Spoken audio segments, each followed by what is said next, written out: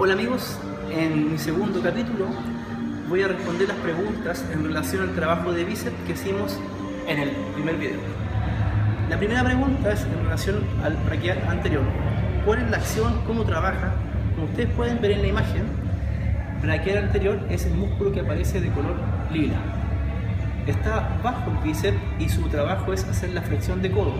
Por lo tanto, es importante saber que también trabaja este músculo y a veces se puede lesionar con el sobreuso y pensar que es el bíceps, pero en realidad es el braquial anterior. La segunda pregunta es en relación al vaivén. Como pueden observar en el video, esta persona está realizando un vaivén, el cual la carga que está por los brazos en la parte anterior va a generar en su columna un esfuerzo para romper la inercia. Esta trampa de vaivén viene del culturismo. Los culturistas cuando trabajan y ya no pueden mover el peso y no hay una persona que le ayude, tienden a generar este movimiento de columna para completar el rango.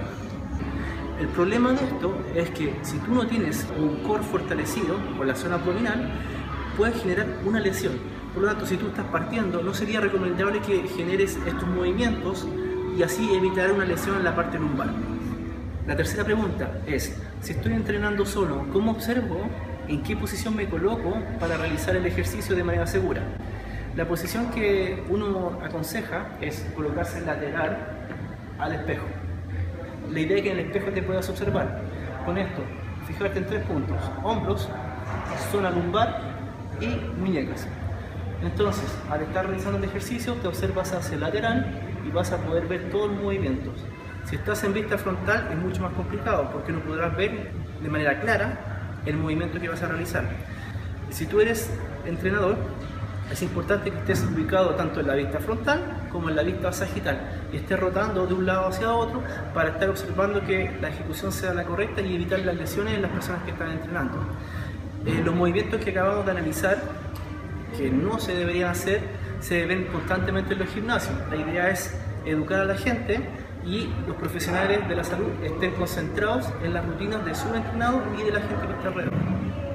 La cuarta pregunta es en relación del agarre abierto o el agarre cerrado. ¿Cuáles son las diferencias? Como pueden observar en la imagen, en el agarre abierto podré reclutar un poco más las fibras de la cabeza corta del bíceps y en un agarre estrecho podré reclutar un poco más las fibras de la cabeza larga del bíceps. Esto no quiere decir que podré cambiar mi músculo, solamente que podré reclutar un poco más y darle un poco más de énfasis al trabajo. Bueno amigos, estas fueron las preguntas que llegaron esta semana en relación al trabajo de bíceps del video anterior. Sigan enviando sus preguntas para aclarar todas sus dudas y que el trabajo de bíceps sea el más idóneo. Bueno amigos, si te gustó o te sirvió este video, suscríbete en YouTube o dale me gusta en Facebook. Chao.